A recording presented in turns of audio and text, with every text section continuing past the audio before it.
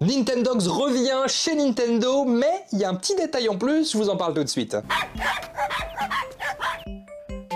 Nintendogs, c'est la fameuse série de jeux vidéo simulant un animal de compagnie virtuel chez Nintendo, sorti pour la première fois le 21 avril 2005 sur le Japon, puis le 7 octobre 2005 chez nous en Europe. Il vous permettait, grâce à un petit stylet et une interface, eh de vous occuper d'un chien et de chat par la suite, afin d'en faire quasiment des petits Tamagotchi. Et eh bien aujourd'hui, on a des nouvelles informations. Un brevet déposé le 17 janvier dernier par Nintendo nous le dit et nous l'explique. Nintendogs revient, mais il revient sur mobile. Alors oui, ça ne reviendra pas sur Nintendo Switch pour l'instant, on l'espère évidemment dans le futur, et les brevets sont assez clairs, il s'agira d'utiliser la réalité augmentée pour eh élever votre petit chien à l'intérieur de votre maison ou dans l'endroit que vous souhaitez. Bref, Nintendogs revient et j'ai beaucoup trop hâte. Après, bon, ça sera sur mobile, mais c'est déjà ça.